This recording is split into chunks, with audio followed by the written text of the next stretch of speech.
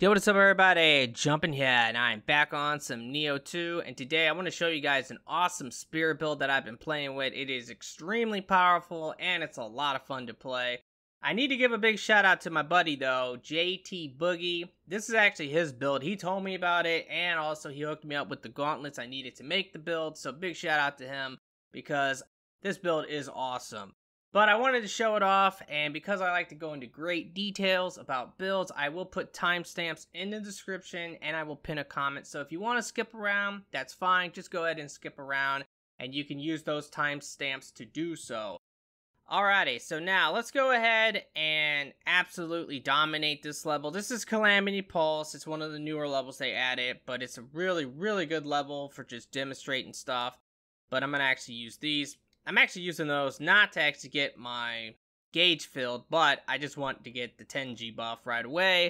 The snake is definitely, in my opinion, the worst one because you can't poison the snake, so if you're using poison on your build, well, the snake's just kind of annoying in that way. Let's go ahead and use Twisting Spear and smack him for a lot of damage, and this should finish him off.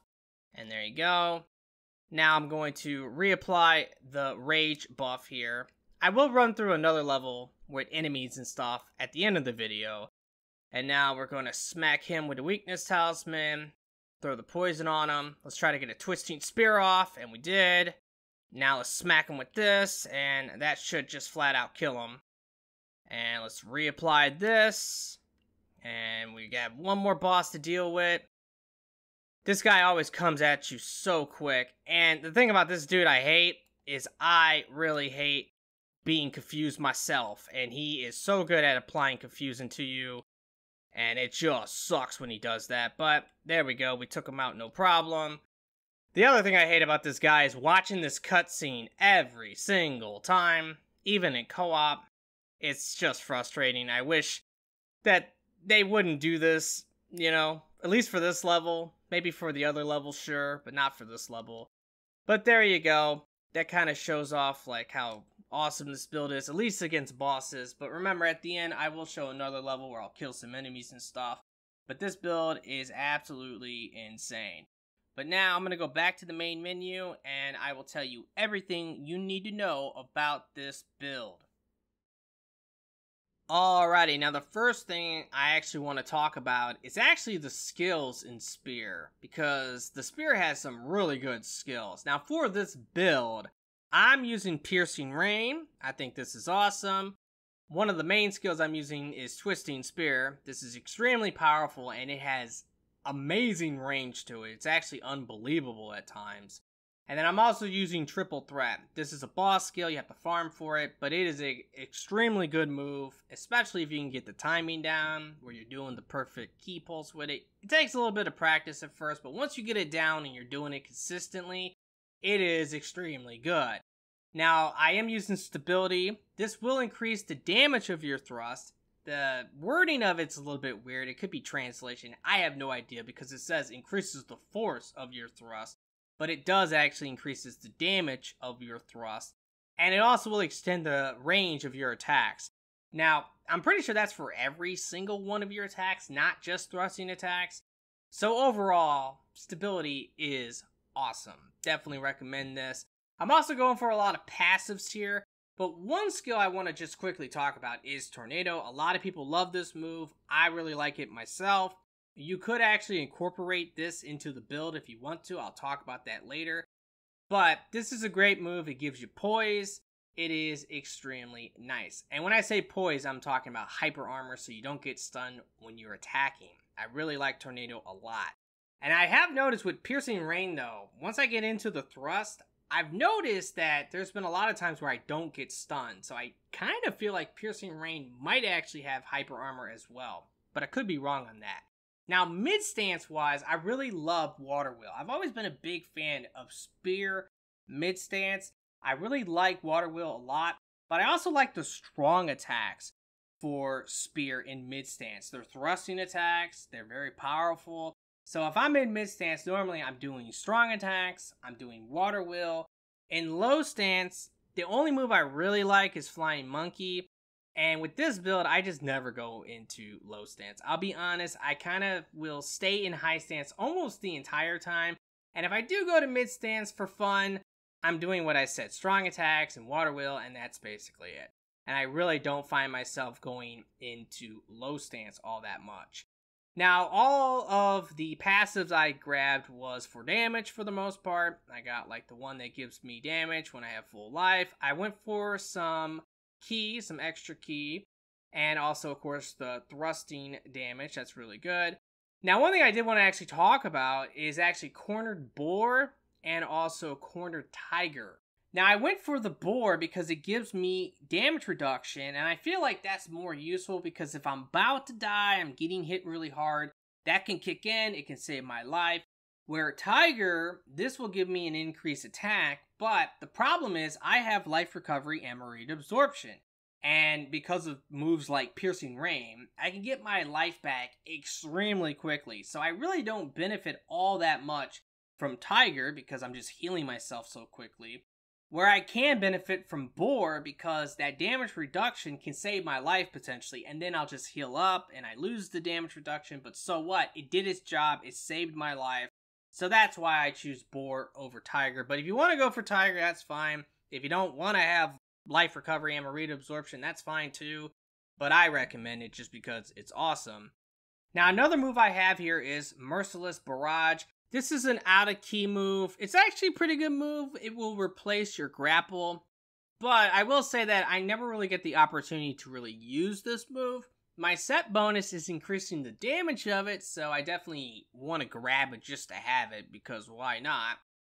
But, you know, if you are using maybe Paralyze and you're putting down traps, especially against human bosses, I can definitely see this being really good. If you have a lot of grapple damage, and you can paralyze the bosses and then go for this. Plus, the set bonus is boosting the damage.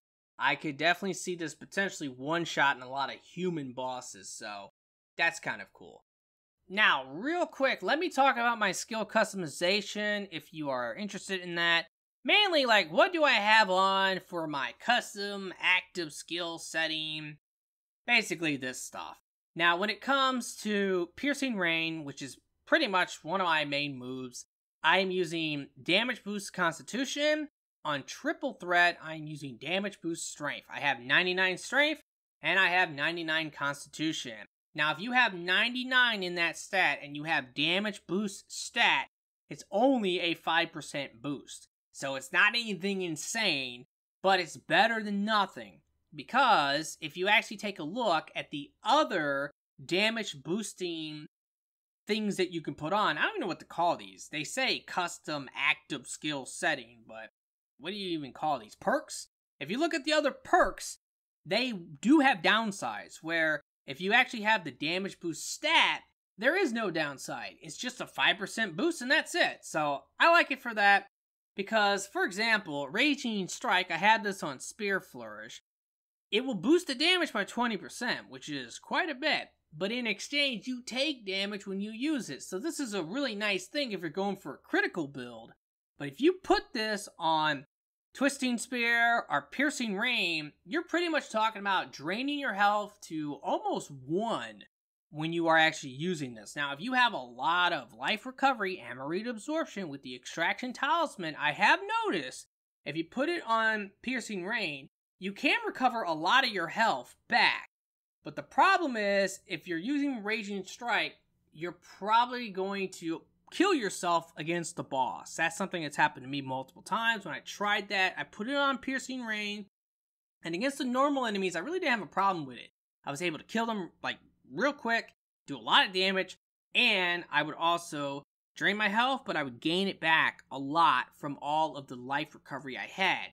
But against bosses, it would drain me just enough so that the boss hits me, I die, and I'm like, oh yeah, screw that.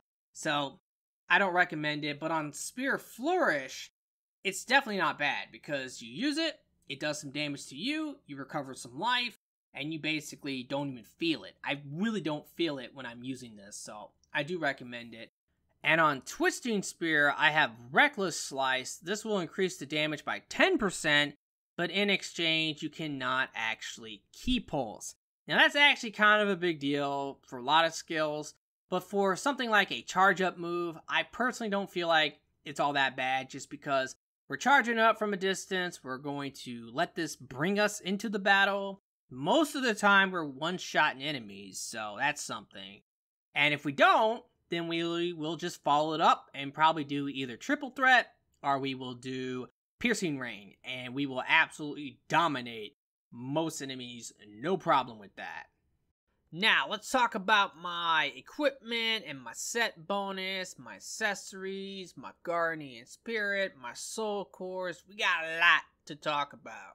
Now, obviously, I'm using the Yasakani Magatama, and I'm also using the poison setup, so I have melee damage versus poison enemy, I have poison accumulation, and I also have Onmyo Magic Power. Now, that can be replaced with whatever you want, if it's luck or really, it's your choice. I like magic power though because I like my buffs and I like longer durations. But I do have life recovery Amrita absorption. That's extremely good, and I definitely recommend getting that on your Yasakani. Now, for my second accessory, it's all the same, but I do want to say that not every accessory can get life recovery Amrita absorption. The normal Magatamas can, the Wise General's Pillbox can, the medicine case can, and there are several other ones that can, but I don't know them off the top of my head. But not every single accessory can get life recovery Amrita absorption. So keep that in mind. It's a really good effect. The more you can stack, the better, and the more life you will get back when you are attacking with the extraction talisman. Now, for my Guardian Spirit, I'm using Tenji. It's the best Guardian Spirit in the game, with no doubt just because of the stance based Amrita bonus. If you're in high stance, you get increased attack. If you're in mid stance, you get increased defense. And if you're in low stance, you get increased ki recovery. You can stack all three of those buffs together if you want. But most lazy people like myself, I just kind of stay in high stance for the most part and I just get the attack buff. Sometimes I might go to mid stance to get the defense buff, but mainly I stay in high stance. Now, my secondary spirit is the boar. I'm not going to try to pronounce that name, I don't want to massacre it, but it's really good because it gives you minus damage taken mid attack. So if you're attacking, you take less damage. That happens all the time. If you have the stats to equip this Guardian Spirit as your second spirit, definitely do it. It's only going to be a 7.5% minus damage taken mid attack, but it's still better than nothing. Get that damage reduction while you're attacking. It is extremely good. Now for my soul cores, I am using the poison setup, so I have the toxic slime on. This gives me poison accumulation, 10%. And it's really good for applying poison onto enemies, so I do like to use it as an attack. Now one thing I like to do is actually use poison shurikens at the start of a boss battle, and if the boss goes into a dark realm, I will then use this to reapply the poison. This does give you hyper armor when you are going for it, so the boss isn't going to stun you out of it. Where with the shurikens, you can be stunned out of it each time you try to throw one. So this is a really nice core. I definitely recommend using this. Now the other one I have is the Snake Boss Core. This is a great Core. It's good for damage. It's good for ki damage but it also gives you melee damage versus poison enemy. And it's 17%. That's kind of crazy. Now, I feel like they might nerf melee damage versus poison enemy because everyone's using it at this point. It's super good. There's no reason not to use it because it's just so good. And I fear that they might nerf it because of that. Same with Tenji. Everyone is using Tenji. No one is really using other spirits unless they just don't know about Tenji. Those are the only people generally I notice who are not using Tenji, are just people who don't really know about it. But yeah, it's kind of crazy. I hope that they will buff the other Guardian Spirits, make them almost as good, if not as good or better than Tenji in some regards, so that people will mix it up. And please, don't nerf Tenji. That's just so counterproductive. Now my other soul core I'm using is the Wheelchair Lady. This is a good attack, it can set enemies on fire really easily, but I'm really just using it for the faster movement speed whenever I get Amrita Absorption. So if I kill an enemy or if I have the Extraction Talisman on, I can run fast. I like that. That is great. Now, for the axe, I am using the Obsidian Knight Axe, and I'm really just using it for the rage duration. That's it. Rage is basically the best attack buff that you can get. There are other things you can do to get an attack buff, but I do not personally like those things. I recommend just go for Rage. Rage does have a downside. You're going to use more ki to attack, and with the spear, it can be sometimes a bummer. I'll be honest. But overall, that's not much of a downside. And with the rage duration bonuses you can get, you can make it last for 40 seconds, which is quite good. So, 100% use rage if you have the space on your build to put an axe on. Use the obsidian axe and get that rage duration bonus. You can also put rage duration on the axe, and if you do that, then you can have it up to about 40%. And at 40%, it lasts for about 41 seconds. I tested it, and I think it's about 41 seconds, somewhere around there. Now, for my set bonuses, I am using the Warrior of the East, and I am using the Tiger of Higo set. Now, the Tiger of Higo set, that is actually optional. You do have a lot of different options you can use if you want to. Now, the Warrior of the East, the reason I like this so much is because it's heavy armor. Heavy armor is going to give you more defense, toughness, so you're not going to get stunned as much. And it's just a really good set bonus. I mean, this is a great set bonus. It gives you Merciless Barrage. That's really not a big deal. It is good if you can get it off. And, you know, one thing you can do is use Paralyze if you really want to get it off. And a lot of grapple damage. It can do a lot of damage against humans. But we're not using it for that. We do get the minus 3% damage taken. We get 4% melee damage, but we get attack bonus Constitution A. We have 99 Constitution, and I'm pretty sure, just like before, that's a 5% bonus. So if you combine those two together, it's a 9% general melee damage bonus, and that's pretty good for heavy armor. So that's really why I'm using it. Because yes, you can get a bigger bonus from using lighter armors, but I like heavy armor, I like the toughness, I like the defense, and that is why we're using the Warrior of the East, because we get about 9%, at least 9% damage from this armor. Now, the other bonus I have on right now is the Tiger of Higo. I think I'm pronouncing that right. But the main reason I'm using this is because of the Piercing Rain damage. I'm a big fan of Piercing Rain. I love that move. It is so awesome. But you do have other options. Now, to get this, we're using the spear and one piece of armor. So, when I talk about everything else here, it's going to be the same. You got to use the spear, you got to use another piece of armor.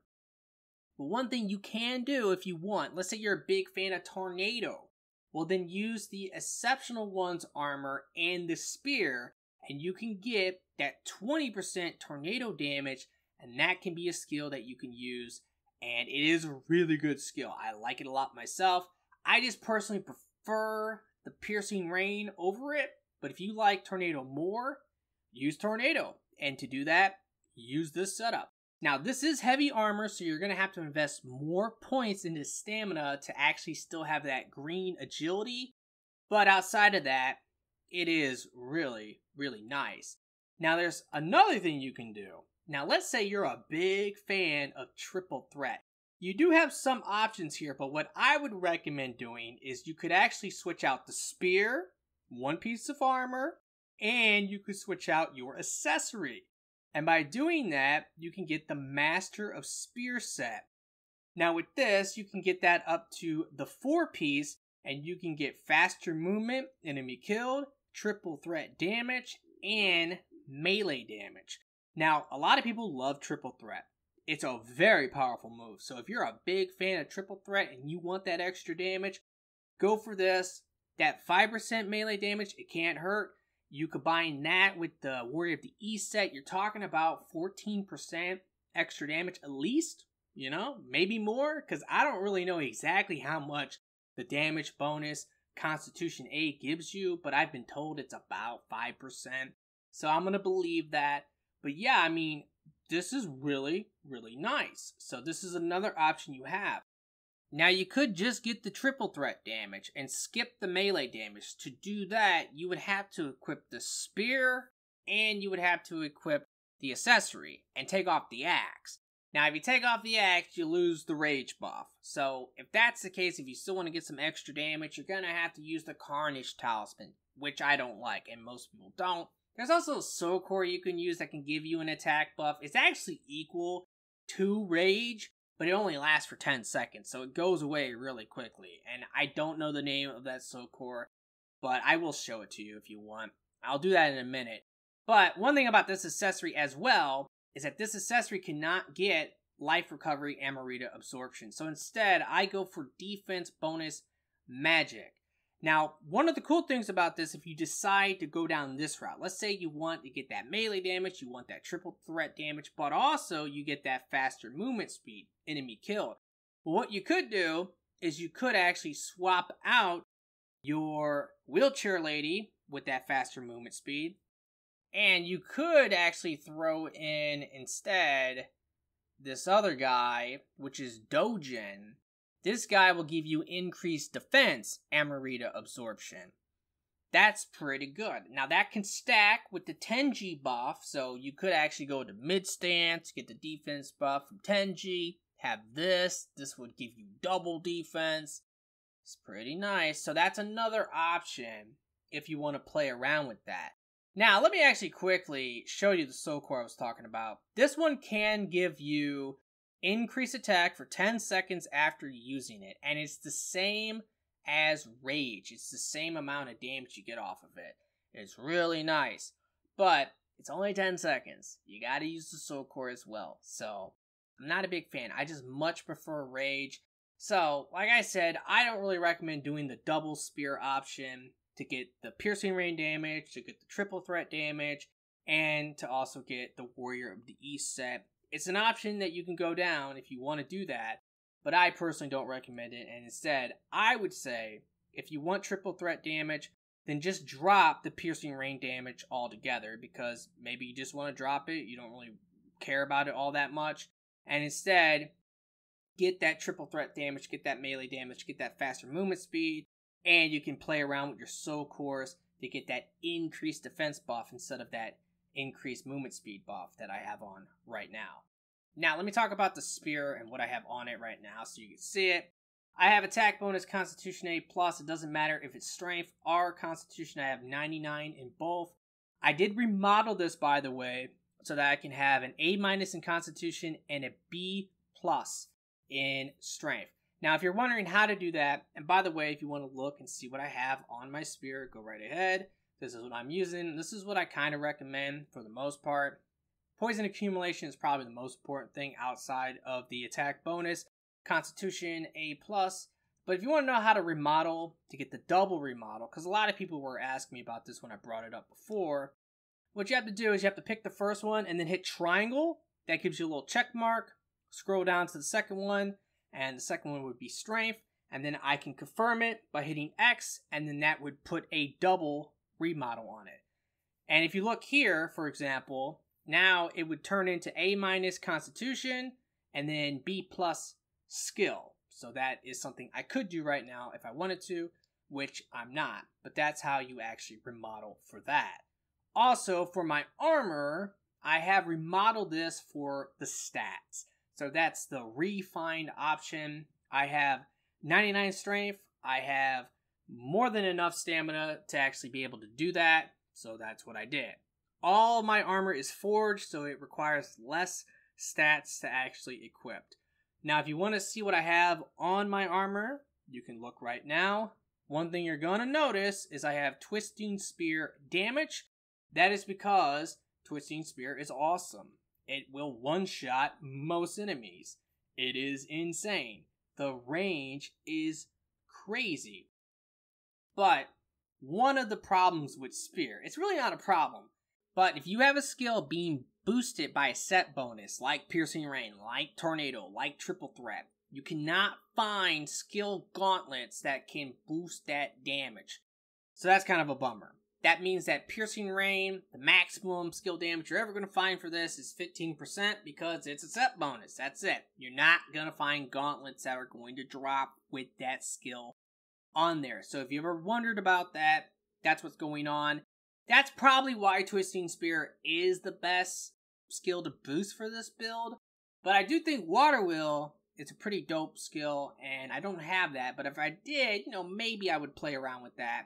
But Twisting Spear, it's really powerful. It one shots enemies, and yeah, you can one shot them at range. So that's a big, big deal.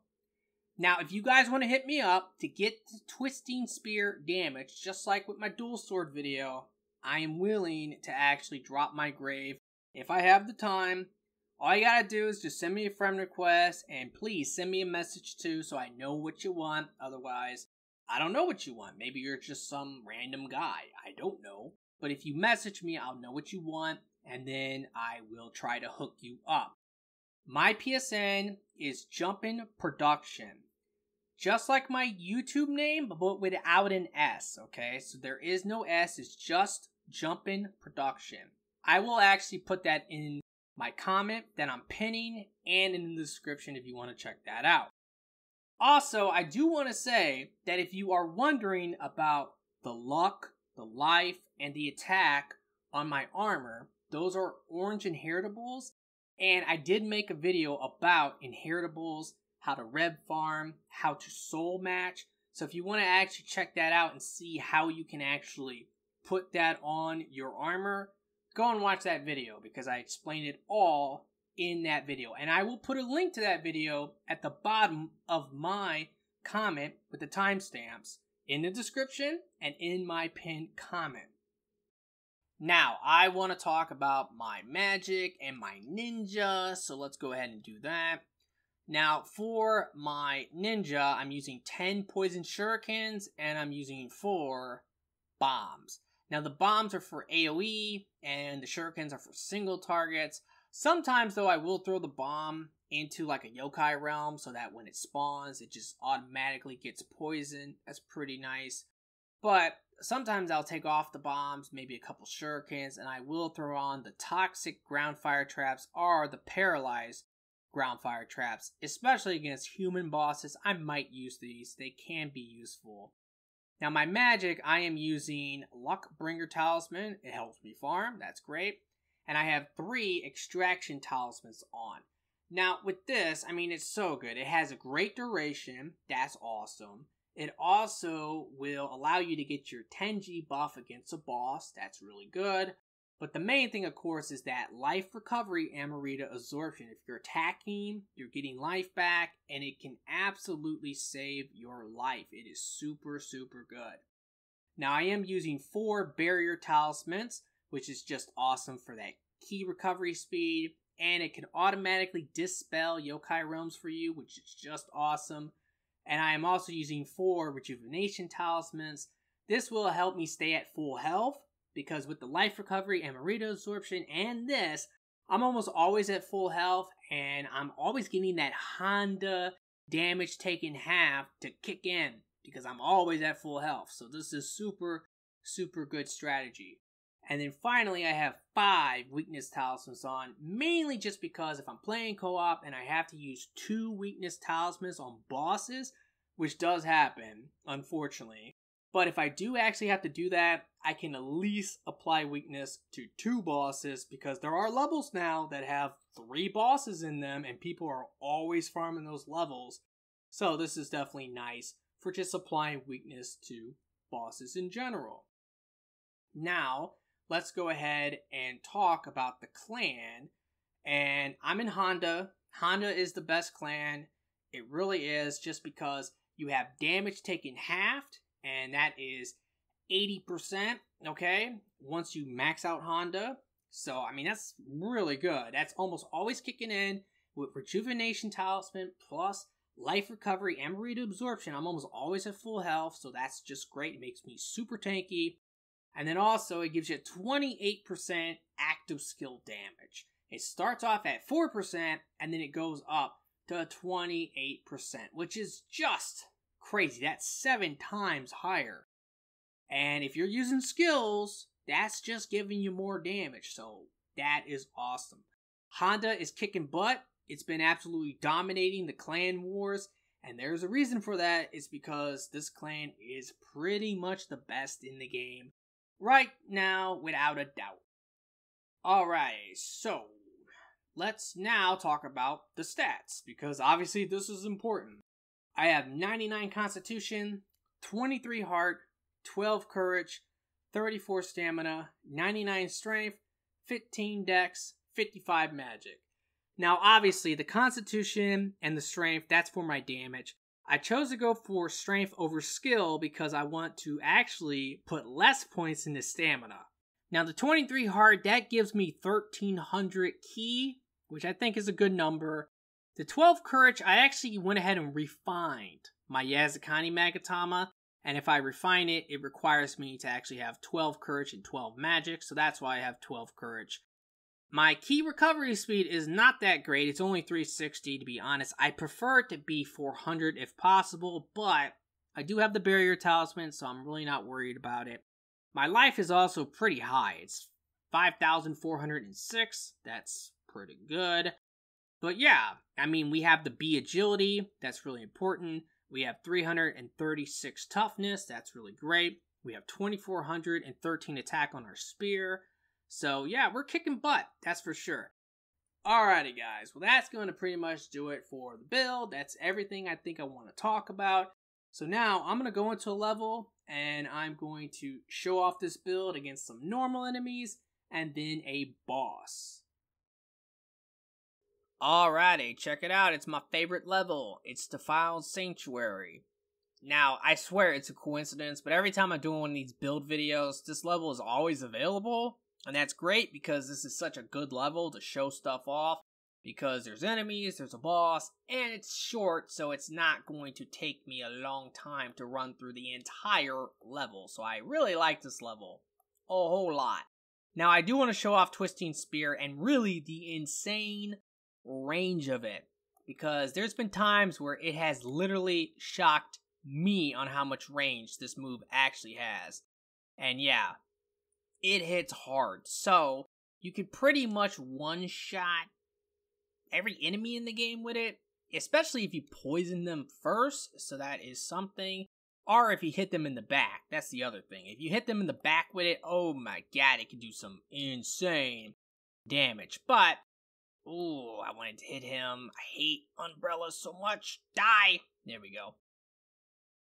But I will say that it has literally surprised me. Like, there's been times where I've actually gotten a one shot from super far away, and I'm like, whoa, man, like, I'm so far away. How did that hit? And it's hit, so it is something. Also, it's really easy to sneak up on enemies. So, a lot of times, an enemy will be in a corner, just chilling, and you can easily sneak up behind them and do a twisting spear from across the map, basically, and smack them in the back and just flat out one shot that enemy with over 20,000 damage. If you're hitting it in the back, you're going to get well over 20k with that hit. So, yes, it is extremely, extremely good. Now, I do want to use triple threat at least once here, and I'll use it against the boss, I think. Oh, okay, you know, or I'll just use it against you maybe, because you want to decide to smack me with that from range, okay. Let's use this. Now, what I want to do here is I want to hit her with this. I want to back away, smack her with this. That's some really good range, right? Look at that. I hit her. Isn't that insane? And then there you go. Triple threat finished her off. And remember, guys, if you want to change up the setup, maybe drop the piercing rain damage, and instead, maybe you want to get the triple threat damage with the 5% melee damage you can do that if you change the accessory, change the spear, change one piece of armor to master spears, you can kind of change it up. Or if you really like tornado, that's one of your favorite moves, then go with the exceptional one's armor with the spear and one piece of that armor, and you can get the tornado damage. So you have a lot of options with this, but this is a really, really good spear build. I highly recommend it. It's a lot of fun to play. It's a lot of fun to one shot enemies from across the map with Twisting Spear. That's just awesome. And Piercing Rain is a great move. And Triple Threat's a great move. Tornado's a great move. Water Wheel is a great move. The Spear has a lot of awesome moves. Alrighty guys, well that's going to do it for this video. I really hope you have enjoyed it and that this has helped. If it has, will you please like the video for me? Be sure to subscribe for future Nioh 2 videos. And make sure to click the bell if you want to stay notified. That's the only way you're going to get notifications is if you click that bell. So please do that. I do appreciate it. Thank you very much for watching. And I really do hope that everyone has a very nice day. And peace out.